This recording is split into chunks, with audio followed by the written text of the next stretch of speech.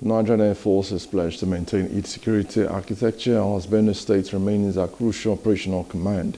The Chief of Air Staff, Air Marshal Hassan Abubakar, announced this during a visit to the Governor of Benue State has emphasized the cordial relationship between the two forces and aimed to discuss mutually uh, beneficial issues.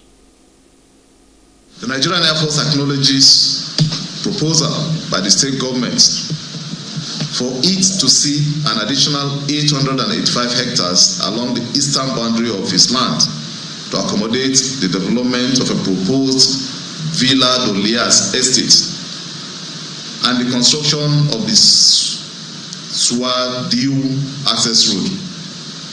The potential loss of 1,537.8 hectares of NAF land translating to a loss of about 34% of the land originally allocated in 1977 would adversely distort the strategic intent of siting the command in Makurdi.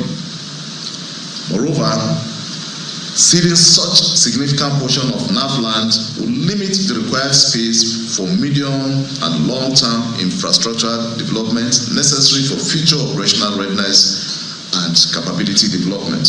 We will still try to get back to the drawing table with the uh, locals and all those with vested interests, the community in this regard.